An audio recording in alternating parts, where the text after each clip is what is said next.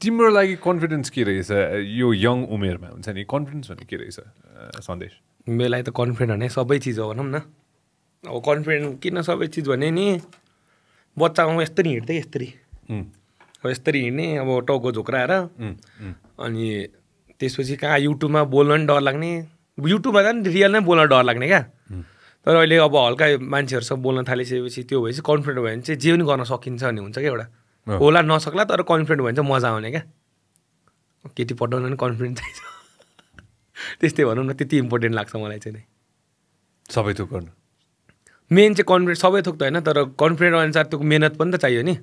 तर कन्फिडेन्ट चाहिँ चाहिन्छ चाहिन्छ लाइफमा अन्त कन्फिडेन्ट भएन भने त झ्याउ लाग्छ क्या। त्यो हुनाले झ्याउ लाग्छ भन्नाले नि आफूसँग कन्फिडेन्ट भएन भने तपाईँसँग नि अब तपाईँले पनि पोडकास्ट गर्न कन्फिडेन्ट भएन भने त गर्दै गर्दैन नि त। अब अरू चिज त नलेज लिनुपर्ने त्यो त छुट्टै छ तर कन्फिडेन्ट त चाहियो नि त बोल्नको लागि त। त्यही भएर कन्फिडेन्ट चाहिँ चाहिन्छ। यो कन्फिडेन्स भन्ने कुरा चाहिँ कस्तो अचम्मको हुने के हुन्छ नि त्यो जहिले पनि जतिखेर पनि हामीसँग त्यो एनर्जी त्यो ड्राइभ त्यो पावर हुन्छ भन्ने छैन नि। छैन नि दाइ ठुलो मान्छेदेखि क्या डर लाग्छ?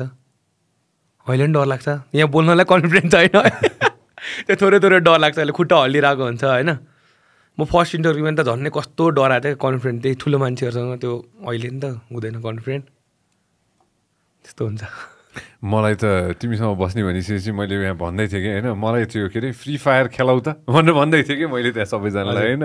अनि त्यसपछि प्रयास त गरेँ तर म कम्प्लिटली फेल खाएँ नि म हुन्छ नि होइन? त्यो त्यो तिम्रो जन र तिमीले जे गर्छौ नि होइन? हजुर। What's up to you man you you awesome at what you do bro thank you दाइ तपाईँ पनि एकदम राम्रो हुन्छ मैले तपाईँको हेरेर हुन्छ थ्याङ्क यू भेरी मच अघि जिममा नि हेरिरहेको थियो तिनजना दाइको। हाम्रो अ, के अरे जिम्बा अ, हजुर, साजन अघि र हेरिरहेको थियौँ होइन? अपूर्व If you love what we are doing, make sure that you subscribe and turn on notifications.